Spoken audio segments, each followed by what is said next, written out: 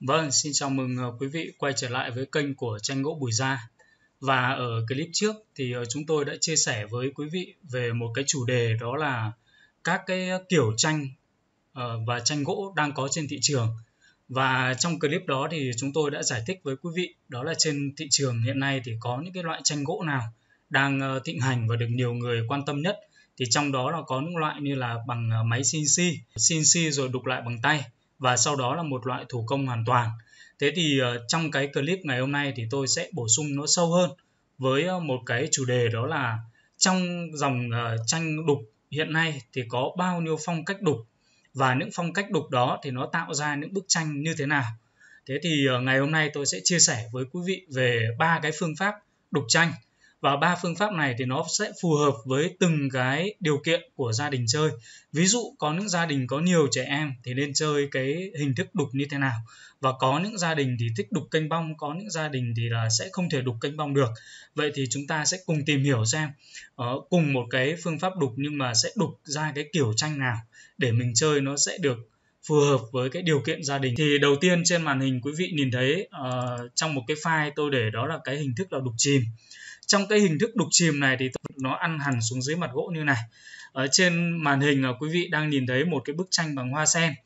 Thế thì thay vì nó nổi kênh bong lên giống như là những bức tranh mà thông thường chúng tôi làm thì bây giờ là chúng tôi sẽ đục nó ăn xuống dưới mặt gỗ. Và cái ưu điểm của cái hình thức đục chìm như này ấy, là nó sẽ không tạo ra cái việc bị gãy các cái cánh hoa hoặc là bị uh, gãy các cái mép. Bởi vì là nó đã tạo ra một cái mặt phẳng uh, tương đứng với cái mặt phẳng ban đầu của gỗ vậy cho nên là các cái hình khối các cái đường nét ở trên gỗ thì đều được ăn hẳn xuống dưới mặt gỗ như này. Ở trên màn hình quý vị nhìn thấy là mặc dù là đục hẳn dưới xuống ờ, mặt gỗ nhưng mà vẫn đầy đủ là gân hoa cánh hoa tạo ra cái độ ờ, cong của cái mép hoa. Ở rồi sau đó là thậm chí vẫn có cái độ kênh bong nhưng mà nó ăn sâu xuống dưới mặt gỗ. Và nếu như chúng ta uh, muốn làm cái hình thức này thì chúng ta sẽ áp dụng với những cái uh, không gian là Ờ, tránh cái việc va đập hoặc là chúng ta cần phải vận chuyển đi xa thì chúng ta sẽ làm với cái hình thức uh, tranh đục chìm như này. Nó sẽ rất là phù hợp uh, và nó sẽ tránh được gần như tuyệt đối cái việc mà mình vận chuyển không lo bị uh, gãy vỡ hoặc là bị uh, sứt uh, các cái cạnh đúng không ạ? Uh, rồi trên màn hình quý vị nhìn thấy đây là một cái bức tranh hoa sen mà chúng tôi đục ở trên nền gỗ óc chó. Cái tác phẩm này là tôi làm cho chỗ anh hậu đồng gia nội thất đồng ra ấy. thì ờ, anh ấy treo một cái bức như này trong phòng ấy thì anh không muốn đục kênh bong. Và anh muốn là đục chìm như này để anh ấy nhìn thấy cái cảm giác nó mới lạ và nó sâu nét hơn. Thế thì trên cái bức tranh này quý vị nhìn thấy đó là các cái cuống của hoa sen là chúng tôi đục ăn hẳn xuống dưới mặt gỗ này. Đó, rồi sau đó các cái cánh là cũng được đục vét xuống dưới đó, ăn xuống dưới mặt gỗ. Đó, nó vẫn tạo ra nhiều tầng lớp khác nhau nhưng ngược trở lại nó nó sẽ không bị ở các cái đường nét nó kênh bong lên và gần như cái phần này nó sẽ đảm bảo được tuyệt đối không gây ra cái việc xít gãy hoặc là uh, bong chóc đó quý vị nhìn thấy ở trên ví dụ như là trên bức tranh này thì cái cánh hoa sen nó vẫn được kênh bong lên rồi nó vẫn tạo ra các cái khoảng không các cái khoảng trống và ăn hẳn xuống dưới mặt gỗ đó. À, đây là cái bức uh, cửu ngư quần hội à, các cái con cá chúng tôi cũng làm đục ăn hẳn xuống dưới mặt gỗ như này. Ờ, và đến khi hoàn thiện thì ờ, tác phẩm nó cũng không rác gì. Một tác phẩm đục canh bong thông thường, ví dụ các con cá ở đây thì cũng đều được tạo ờ, đầy đủ dâu, vảy mắt, mũi, rồi các cái sóng nước cũng đều được tỉa, các cái gân của các cái hoa cũng đều được tỉa rất là rõ. Không thiếu bất kể một cái chi tiết gì ở trên một cái bức tranh thông thường. Ví dụ như là cái cành hoa này thì nó còn canh bong, nó đè lên trên một cái cánh hoa ở dưới uh, nó vẫn tạo ra một cái cảm giác là tầng lớp đè lên nhau nhưng ngược trở lại là nó sẽ rất an toàn ở trong cái khâu bảo quản và trưng bày. À, đây là một bức tranh ờ, bằng gỗ ốc chó đục uh, ăn sâu. Uh, đục ăn sâu là như này. Uh, trong cái ngôn ngữ mà chúng tôi đục thông thường ấy thì uh, thường gọi đây là một bức tranh đục chìm. Uh, đục chìm ăn hẳn vào mặt gỗ. Uh, vậy cho nên là nếu như quý vị muốn trưng bày một cái bức tranh mà nhà có nhiều trẻ con chơi nó hay nghịch ngợm nó hay ờ, sờ mó hoặc là treo một cái bức tranh ở cái mức độ gọi là thấp ở trong cái tầm tay của trẻ. Thì quý vị có thể tham khảo cái hình thức là đục chìm như này. À, nó sẽ rất là đảm bảo về cái việc mà chúng ta bảo quản à, hàng ngày không gây ra cái việc là gãy à, không gây ra cái việc vỡ. À, quý vị vẫn nhìn thấy cây cỏ rồi ờ, đường nét rồi ờ, những cái ờ, cuống hoa nó vẫn có các cái tầng lớp nó đè lên nhau vẫn đảm bảo những cái bố cục giống như là một cái bức tranh kênh bong thông thường. À, đây là một cái bức quà tặng em bé chăn trâu chúng tôi cũng đục bằng hình thức đục chìm. Có thể vận chuyển đi mọi nơi à, bất kể đâu chúng tôi cũng có thể vận chuyển được những cái bức tranh này. À, hoặc là một cái bức tranh nó cầu kỳ nhiều tầng lớp hơn như là một cái đầm hoa sen này chẳng hạn. Cái đầm sen với những cái con chim hạc à, quý vị nhìn thấy là trên một cái phôi gỗ dày chỉ khoảng ờ, 3 cm như này. Đây là một cái bức tranh ờ, được làm từ ờ, gỗ gõ và mục tiêu là để dùng ốp vào một cái chân bể cá đây quý vị này. Đó, thì chân bể cá nó ở cái khu vực thấp như này thì trẻ con nó rất là dễ hay nghịch. Cho nên là cái vị khách này đã đưa ra một cái yêu cầu đó là anh muốn ốp một cái chân bể cá và muốn đục một bức tranh nhưng các em làm nào để nó không bị gãy không bị vỡ thế thì chúng tôi mới đưa ra cái phương án đó là mình sẽ đục ăn hẳn vào mặt gỗ như này. Đó thì quý vị nhìn tổng thể là sẽ ra được một cái bức tranh uh, đầm sen hạc này. Thế còn đi sâu vào chi tiết thì quý vị sẽ nhìn thấy đây. Uh, cái ờ, chú hạc này chỉ ăn vào mặt gỗ khoảng độ tầm 3 ly thôi 3 mm và sau đó là các cái cánh hoa cũng sẽ được chia ra các cái tầng lớp phụ thuộc vào cái việc mình thiết kế theo cái bố cục. Và những cái phần này thì gần như nó không thể nào mà bị sứt được cho nên là cái bố cục và cái đường nét nó hoàn toàn đảm bảo. Đó, thậm chí ví dụ như là vẫn có một chút xíu cái uh, chân tranh được móc lên nhưng mà nó không quá cao và nó gần như đảm bảo hoàn toàn được cái việc bảo quản lâu dài cho cái tác phẩm. À, như rất nhiều các cái tầng lớp ở trên một bức tranh như này. À, quý vị nhìn là sẽ thưởng thức được đúng không ạ? À, đây là một cái hình thức đục chìm. Ờ, phụ thuộc vào cái thiết kế mình có thể đưa ra nhiều tầng lớp khác nhau cũng không vấn đề gì. Đó, cái ưu điểm này thì nếu như mà quý vị mà chơi những dòng gỗ tốt ví dụ như là gỗ tử đàn hay là gỗ xưa uh, hoặc là một cái phôi gỗ hoàng đàn nào đó mà cái bề mặt nó khoảng độ tầm 20 cm nếu như mà mình đục kênh bong đi thì nó mất nhiều cái phôi gỗ quá thì mình có thể tận dụng là mình đục chìm như này. Thì cái phần gỗ mà mình bỏ đi nó rất là ít và nó sẽ giữ lại được cái giá trị của gỗ và sau đó là mình lại bảo quản được cái uh, đường nét và cái bố cục của tranh nó sẽ rất được uh, an toàn. Còn đây là một vài những cái tác phẩm của Trung Quốc mà tôi đã sưu tầm. Ở bên Trung Quốc thì uh, không biết là do phong cách chơi hay là do một cái quan niệm gì đấy nhưng mà tôi tìm hiểu thì thấy Trung Quốc người ta rất ít khi mà dùng cái uh, dòng tranh mà đục chìm như này. Đây là một vài những cái uh, lọ uh, đựng hoa rồi uh, đựng bút uh, của Trung Quốc có thể đục bằng tre hoặc là đục bằng gỗ. Nhưng mà cái hình thức mà đục chìm như này ở Trung Quốc tôi thấy rất là ít. Thế còn ở Việt Nam thì tôi cũng cảm thấy uh, rất là hiếm nơi mà làm những cái dòng tranh đục chìm như này. Uh, không dám nói là chỉ có tranh gỗ bùi da làm nhưng mà theo tôi tìm hiểu thì gần như là rất hiếm rất hiếm nơi mà làm những cái dòng tranh đục chìm. Ở đây là cái hình thức đục chìm của Trung Quốc này các bạn này uh, ờ, quý vị nhìn thấy là cái hình thức đục chìm của Trung Quốc thì nó cũng không khác gì cái hình thức đục chìm mà tranh gỗ bùi da áp dụng vào các cái tác phẩm vậy cho nên là uh, cũng có những cái điểm chung của một cái dòng tranh uh, ờ, chế tác lên cái sản phẩm đúng không thì uh, đầu tiên là chúng ta đã đi được cái dòng là đục chìm. Đó, và đúc kết lại thì đục chìm nó sẽ phù hợp với những cái không gian treo ở thấp và có uh, nhiều trẻ con trong nhà. Tránh cái việc mà trẻ con uh, nghịch ngợm rồi bẻ gãy thì quý vị nên tham khảo. Hình thức đục chìm này là khá là yên tâm. Đến hình thức thứ hai đó là hình thức đục canh bong thì cái hình thức đục kênh bong này thì quý vị cũng đã uh, biết từ lâu và cũng đã cảm nhận rồi. Tuy nhiên thì ngày hôm nay tôi sẽ chia sẻ ba uh, đất nước đục về những cái sản phẩm ờ, uh, kênh bong như này để có những cái điều phân tích về cái sự giống và khác nhau. Từ đó chúng ta có thể cảm nhận được là uh, trong cái hình thức đục thì có những cái nó rất là tương đồng nhưng ngược trở lại là nó sẽ chia theo cái dòng văn hóa và nó sẽ đi đến các cái khác nhau về chi tiết. Thế thì đầu tiên là những bức tranh của đất nước Thái Lan đất nước Thái Lan quý vị cũng đã biết và đây là ở những cái vùng như là vùng uh, Chiang Mai này quý vị này. Đấy, Chiang Mai người ta cũng làm về tranh gỗ và đây là một cái bức tranh của ờ, Thái Lan người ta làm. Quý vị nhìn thấy Thái Lan người ta làm cũng khá là tương đồng đúng không họ cũng ảnh hưởng bởi văn hóa Trung Quốc và họ cũng làm những cái bức tranh uh, ví dụ như đây là cái chủ đề tranh gỗ tam đa này. Đó thì đây là một bức tranh của Thái Lan người ta sản xuất này. Tương đối là chi tiết và cũng tương đối là là đẹp. Đó rồi đến ờ, bức tranh thứ hai của Thái Lan. Ví dụ đây là một bức tranh về quan công. Đó. đằng sau là châu thương và bên cạnh là quan bình. Cái bức tranh này nếu như mà tính ra tiền Việt thì như nó đâu khoảng độ tầm ờ, 500 triệu gì đấy. Và quý vị nhìn thấy là họ làm cũng tương đối là chi tiết đúng không ạ? Ờ, điều đó phản ánh là cái tay nghề đục chạm thì uh, gần như là ở đâu nó cũng có cái cái tương đồng. Nó chỉ khác nhau về cái việc uh, cảm nhận về hình khối cảm nhận về chi tiết cũng như là gửi gắm những cái nét văn hóa riêng. Chẳng hạn như là uh, trên cái bức uh, quan công này của Thái Lan người ta làm ấy thì uh, mặt của cụ uh, quan công này thì tôi cảm giác là nó có cái cái cái hơi hướng phảng phất của cái dòng uh, Champa. Uh, mặt to to nhưng mà mắt nó hơi lồi.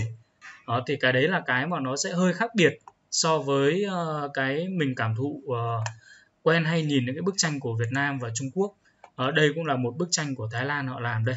Đó cũng có cái hình thức đục nổi cũng kênh bong lên. Uh, cũng là chính phụ cũng là uh, chia một phần ba các cái đường khối. Uh, nó không khác gì so với lại là của Việt Nam và Trung Quốc cả đúng không và một cái nữa tôi cảm nhận đó là các cái hình khối của của của Thái Lan này người ta làm cũng tương đối là dày đặc. Nó không không được thưa mấy. Người ta làm uh, rất là nhiều các cái chi tiết gần như phủ kín hết cả mặt tranh và tiếp theo ấy thì là một cái hình thức đục uh, kênh bong mà cực kỳ nổi tiếng và ai cũng đã xem và ai cũng đã biết đó là của Trung Quốc. Vậy thì Trung Quốc người ta làm như thế nào? Thì trên màn hình quý vị đang uh, xem đây là một cái bức tranh về chủ đề hoa sen. Bức tranh này hôm trước tôi cũng đã giới thiệu rồi một trong những cái tác phẩm uh, kinh điển.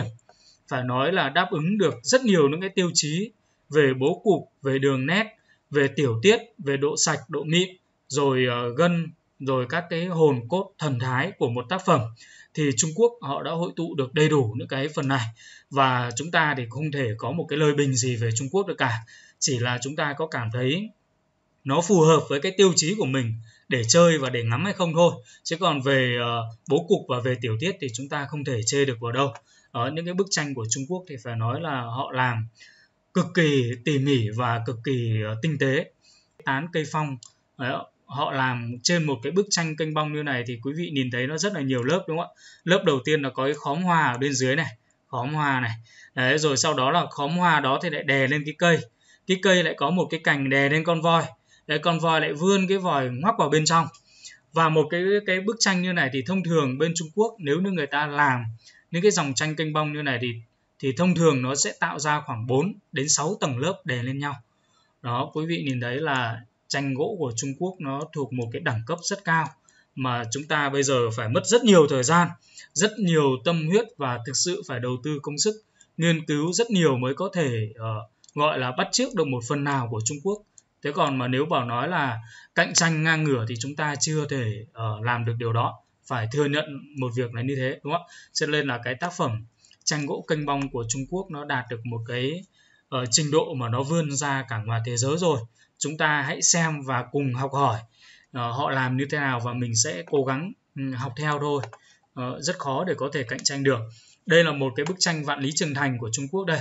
Quý vị nhìn thấy uh, nếu như có thời gian thì tôi sẽ phân tích về những cái bố cục của một bức tranh như này uh, nó đáp ứng được rất nhiều các cái yêu cầu trên một. Nhìn đấy là tranh của Trung Quốc người ta làm uh, nó đạt được rất nhiều những cái uh, tố chất ở trên đây. Từ đường nét hình khối tiểu tiết uh, hoa văn những cái mây những cái uh, núi người ta khắc họa một cách rất là uh, thần thái uh, đem lại những cái cảm xúc nhìn uh, rất là chân thực cho người người uh, người chơi.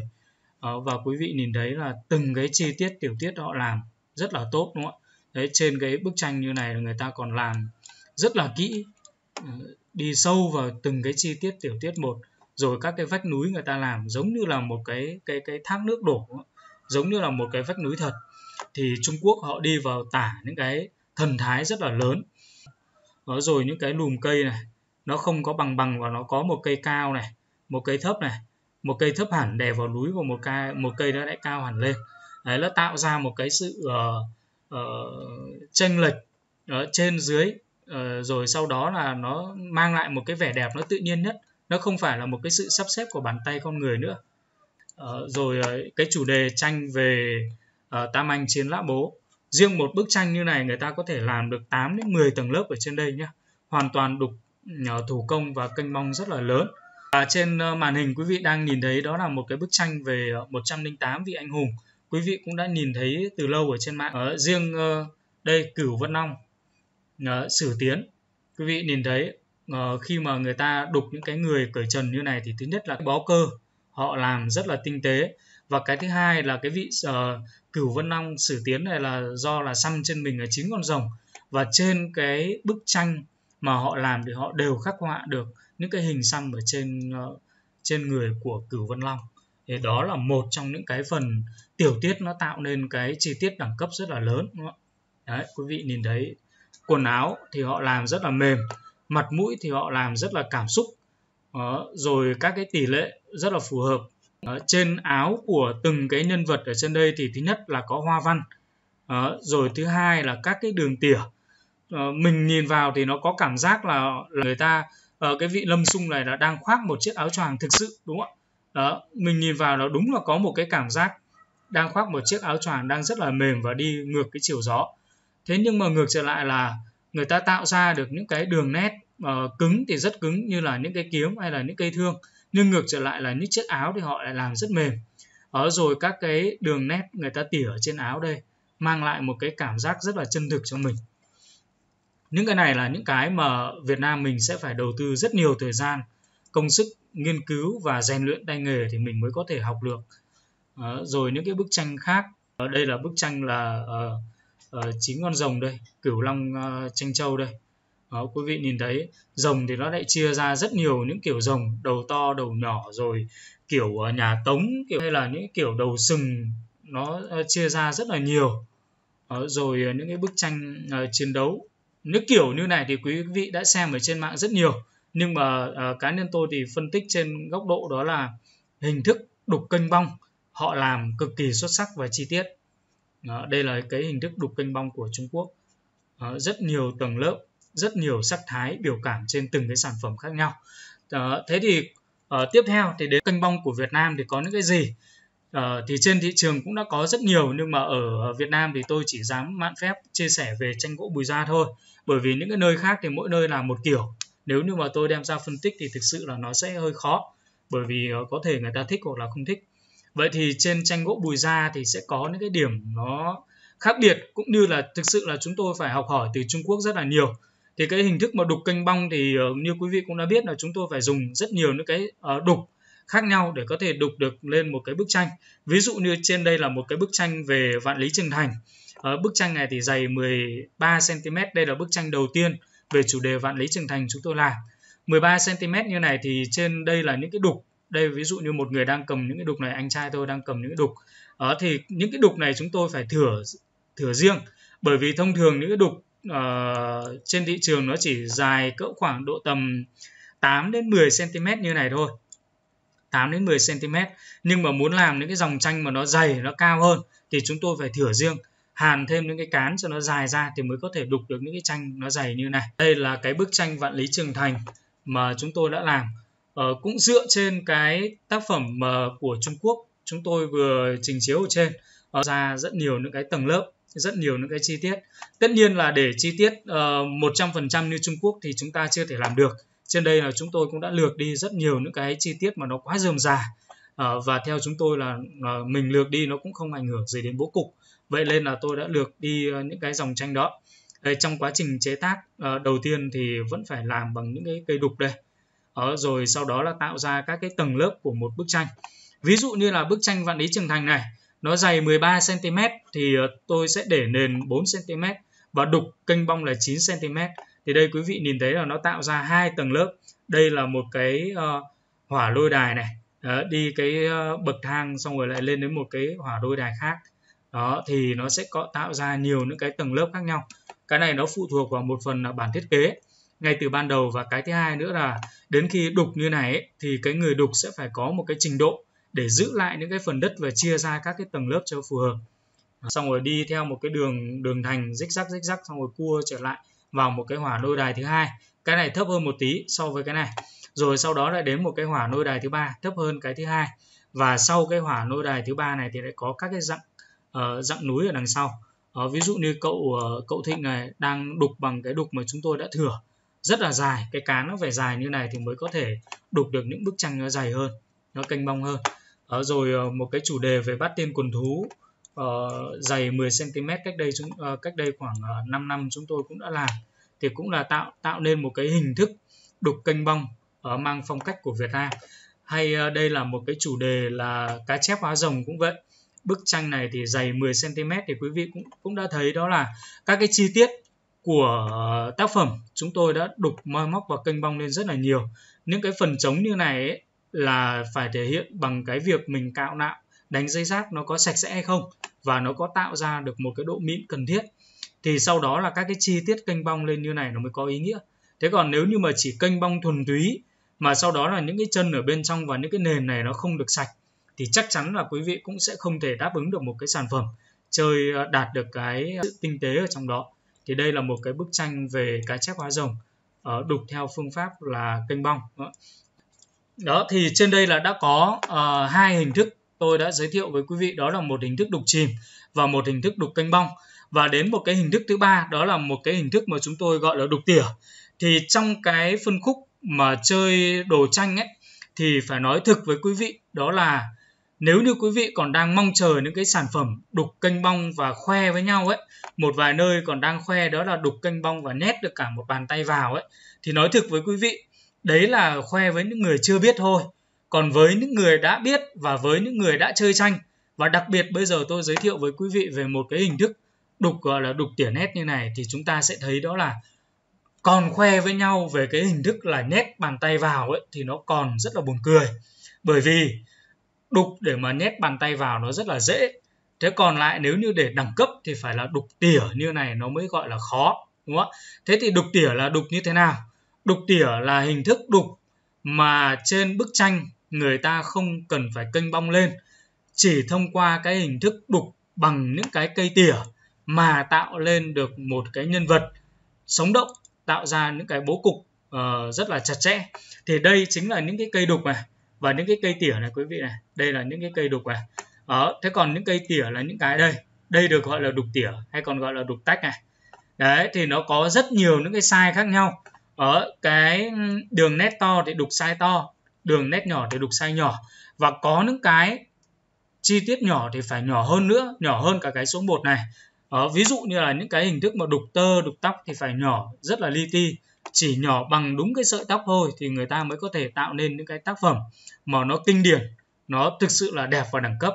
Đây, những cái hình thức đục, những cái như này nó rất thực tế này, quý vị này. Đây này, những cái như này nó chỉ to, to hơn cái que tăm khoảng uh, gấp hai lần thôi. Thế thì cái hình thức đục tỉa và đục hớt này nó là như nào? Đây xin giới thiệu với quý vị những cái tác phẩm đục tỉa như này. Thì quý vị nhìn thấy đó là cái của gỗ người ta giữ lại khoảng độ tầm nhiều nhất là đến 1 cm chứ người ta không kênh bong lên nhiều hoặc là người ta chỉ giữ lại 5 mm thôi. Nhưng trên một cái tác phẩm như này quý vị nhìn thấy đúng không ạ? Một con chim hạc và người ta chỉ dùng bằng cái đục tỉa thôi. Đây cái đục tỉa này. Đó, người ta lấy cái đục tỉa này người ta làm này. Đó, rồi sau đó là người ta đục ra cái con chim hạc như này. Tại sao họ lại làm giỏi đến mức độ như thế? Tại sao mà có những cái tay nghề nó đạt được đến mức độ gọi là siêu phàm, đúng không nó giống như là thật và thậm chí nó còn sinh động, nó mượt mà và nó đẹp được đến mức hơn cả thật. Nó trên cả thực tế, nó đi vào thần nét đi vào những cái đường nét mà nó tạo ra một cái thần thái uh, cực kỳ xuất sắc cực kỳ uh, khác biệt là như này. Uh, chỉ dựa trên những cái cây đục như thế như này. Thì quý vị mới thấy đó là uh, càng khoe nhau về độ kênh bong và càng nét bàn tay vào bao nhiêu thì nó càng buồn cười bấy nhiêu. Hay chẳng hạn như là chủ đề tranh con hổ. Uh, quý vị nhìn thấy là cái uh, cái cái độ dày của bức tranh con hổ này có lẽ là nó chỉ khoảng độ tầm uh, 5 mm thôi nó không được đến 1 cm nhưng quý vị nhìn đấy họ tạo ra những cái cái bố cục như nào? Đầy đủ từ mũi này rồi má này rồi uh, uh, lông này râu này đó, rồi các cái vết vần của của con hổ. Để quý vị đi sâu vào quý vị nhìn đấy thì mới thấy là Trung Quốc họ làm. Phải nói là ở một cái đẳng cấp nó cao hơn rất nhiều và không nên khoe về cái việc canh bong đây, nếu như chúng ta nhìn gần, đó, bộ lông của con hổ người ta tỉa ra những cái đường nét như này. Đó, nó rất khó ở cái đấy là nếu như tỉa một đường thẳng ấy thì không nói làm gì. Nhưng trên cái tỉa này chúng ta phải tỉa cho cái lông nó cong, rồi tạo ra độ mềm, tạo ra cái độ bồng và tạo ra những cái lông nó phải đè lên trên nhau. Chứ không phải mỗi cái nó chạy một nơi thì nó sẽ không thể tạo được lên nữa chẳng hạn nếu quý vị nhìn này là vẫn cảm nhận được đây là cái xương sống của của cái lưng con hổ, đúng không ạ? Đấy chính là điều khác biệt nhất và đấy chính là điều đẳng cấp nhất mà khi chúng ta xem những cái bức tranh ấy, nó không cần phải kênh bong, nhưng mà nó phải tạo được ra cái hình khối, tạo ra được cái bố cục. Đây, hình khối đây. Mũi này, chán này, tai này, vai này, lưng này. Đứng thì cái lưng nó sẽ võng xuống và mông nó sẽ cong lên này. Đấy, những cái này là những cái nếu như đục kênh bong thì người ta rất là dễ để giữ lại đất để có thể làm ra các cái bố cục như này. Nhưng với một cái ở hình thức đục chỉ gọi bằng bằng những cái cây tỉa này thôi. Không có nhiều đất để biểu diễn nhưng người ta vẫn làm được cái bố cục chặt chẽ. Và tỉa cái bộ lông nó sắc nét đến mức như này. Thì phải nói đây là một cái kỹ thuật đục mà thực tế ở Việt Nam uh, cá nhân tôi tìm hiểu và và xem thì gần như chưa từng có ai có thể làm được cái mức độ như này. Tranh gỗ bùi da cũng không thể làm được cái hình thức như này phải tâm sự thực là như thế. Vậy cho nên là nếu như quý vị chơi và đạt được những cái mức độ thẩm thấu giống như này ấy, thì uh, nó ờ, cái việc lúc đấy trao đổi về tiền nó không còn có giá trị. Và nếu thực sự là nếu như chúng tôi có tiền chúng tôi rất thích mua và chơi những cái tác phẩm như này. Ở đây trên cái bức tranh uh, chủ đề về con hổ quý vị nhìn thấy ở chỗ cái cái cái cổ đây. Người ta người ta tạo ra những cái tầng lớp những cái tầng lông rồi những cái lớp lông nó đè lên nhau. Đó, ví dụ như là cái chỗ cổ này đó, gáy này đi xuống cái chỗ mà vai này quý vị nhìn thấy chỉ bằng những cây tỉa này mà người ta tạo được ra lớp lông này tạo được ra những cái gấp khúc của cái uh, tạo ra cái bố cục của cái xương vai thì phải nói là người ta đạt được những cái trình độ rất cao về tay nghề và sau đó người ta phải có được một cái kiến thức rất chuẩn về giải phẫu thì người ta mới có thể làm được những cái con vật giống như này. Chứ nếu không là người ta sẽ không thể làm được cá nhân chúng tôi cũng chưa thể làm được những cái như này. Đó rồi những cái bức tranh người. Đấy quý vị nhìn thấy nó chỉ mỏng khoảng uh, một dày lắm là đến 1 cm còn nếu không thì dưới 1 cm và người ta vẫn tạo ra những cái bức tranh kinh điển như này. Thì quý vị mới thấy đó là cái hình thức đục mà khoe nhau ấy thì không không cần phải khoe về kênh bong nữa đúng không mà chúng ta nên khoe về kỹ thuật như này thôi. Đó cái chân của con chim đại bàng quý vị nhìn thấy Trung Quốc họ làm đạt được đến những cái trình độ uh, cao siêu đến mức độ nào rồi đúng không ở ờ, những cái bộ lông con chim. Uh, nhấn mạnh thêm một chút nữa đó là cái hình thức mà đục tỉa như này thì rất phù hợp với những cái chủ đề mà uh, liên quan đến những cái bộ lông liên quan đến những cái tầng lớp ở uh, những cái lông lông nhỏ ấy thì cái hình thức đục tỉa này người ta sẽ khoe được rất nhiều cái tay nghề. Thế còn nếu như mà uh, không có cái tầng lớp lông như này thì đục nó sẽ không phát huy được hết cái tay nghề của họ. Đó hay là trên bức tranh con chim này quý vị nhìn thấy đúng không ạ? Đó, mặc dù nhìn thẳng chính diện nhưng mà vẫn cảm nhận được là đây là con chim này nó chia được ra cái đầu cái lưng rồi hai cái vai hai bên và bộ lông ở đằng sau cái lông đuôi ở đằng sau. Đó tạo được ra cái độ uh, phồng của cái ngực này co của cái chân này duỗi của cái cánh này. Những cái này là những cái mà rất khó có thể thực hiện được. Uh, những cái bức tranh về uh, về về về chú chó đang uh, đi ờ, thong dong đây chẳng hạn. Đây là một cái tích tranh có một cái tích tranh ờ, riêng về về chủ đề con chó này quý vị nhé để học hỏi thì chúng ta sẽ nhìn thấy nó sẽ có rất nhiều điểm sáng mà chúng ta sẽ có thể học hỏi được những cái dòng tranh của Trung Quốc uh, những cái bộ lông của của của uh, các cái con vật mà Trung Quốc họ làm thì phải nói là rất đẳng cấp. Nó đây cũng là một cái bức tranh cực kỳ hay này. Uh, một chú hạc đứng dưới uh, uh, gốc tre. Uh, đây bộ lông uh, của chim hạc quý vị nhìn thấy họ đục phải nói là xuất thần nữa không có một từ nào để diễn tả nên những cái tác phẩm mà không cần kênh bong. Những cái này thì không thể lùa tay và không thể kênh bong được, nhưng mà ngược trở lại thì nó đem lại một cái cảm giác nhìn rất là tốt, cũng như là một cái cảm xúc và một cái bố cục họ làm cực kỳ chặt chẽ. Ờ, những cái bức tranh như này thì phải nói là rất đẹp. Đây quý vị nhìn thấy là cái mặt gỗ nó rất là phẳng rồi những cái chi tiết như này họ làm rất là là là mỏng thôi. Họ làm không dày cỡ 5 ờ, mm. Đây là một cái cánh tủ. Những cái này thì thường xuất hiện những cái cánh tủ ở bên Trung Quốc. Đó, rồi những cái ờ, bông hoa sen họ làm tuy mỏng nhưng mà rất tinh tế ờ, rất khác biệt. Gần như là cái chủ đề mà làm đục tỉa như này thì chỉ có bên Trung Quốc làm thôi. Tôi cũng chưa nhìn thấy bên Thái Lan hay là bên Việt Nam làm. Việt Nam thì đâu đó có một hai người làm nhưng mà bây giờ thì đang chưa thấy người ta phát huy được uh, tối đa những cái này. Uh, đây là những bức tranh phải nói là phi phàm. Đó vậy nên là không nên khoe về kênh băng nữa đúng không ạ? Mà phải khoe về những cái tiểu tiết đây những cái chi tiết như này. Thì nó mới tạo ra một cái đẳng cấp rất là cao. Đó, một cái thú chơi mà càng ngày quý vị sẽ càng nâng cao được cái uh, trình độ thưởng thức của mình cũng như là hiểu biết được thêm các cái hình thức đục chạm ở trên thị trường đó, đó và ở trên đây thì tôi đã chia sẻ với quý vị về ba cái hình thức đục chạm đó là đục chìm đục kênh bong và đục tỉa nét. Thế thì tùy theo cái nhu cầu tùy theo cái sở trường và cái yêu thích của mỗi người để chúng ta sẽ chọn được ra cái sản phẩm mà mình yêu thích. Đó, và thêm nữa đó là chúng ta cũng sẽ trang bị thêm cho mình những cái kiến thức về từng cái phong cách đục để từ đó chúng ta trước khi mà mua hoặc là trước khi mà tiêu dùng từng cái sản phẩm thì chúng ta được đã biết được là à trên thị trường nó có những cái dòng sản phẩm đấy. Và bây giờ mình sẽ lựa chọn cái sản phẩm nào cho phù hợp và tìm đến từng từng nơi là làm sở trường về từng cái dòng sản phẩm đó. Thì như thế là quý vị sẽ chọn được một cái sản phẩm nó phù hợp với cái sở thích cũng như là cái túi tiền của mình. Đó và chúng tôi trên tinh thần là biết đến đâu thì chia sẻ đến đó. Uh, rất mong được uh, sự chia sẻ cùng với quý vị để chúng ta cùng trang bị cho nhau những cái kiến thức để nâng cao cái thẩm mỹ cũng như là cái gu chơi tranh của mình. Đó, và rất cảm ơn quý vị đã quan tâm, chia sẻ cùng với chúng tôi. Và rất mong nhận được cái sự à, phản hồi của quý vị bằng những cái comment hoặc là đăng ký kênh của chúng tôi. Và xin cảm ơn, xin chào, hẹn gặp lại. Tranh gỗ bùi gia thưởng thức mỗi ngày trường tồn giá trị.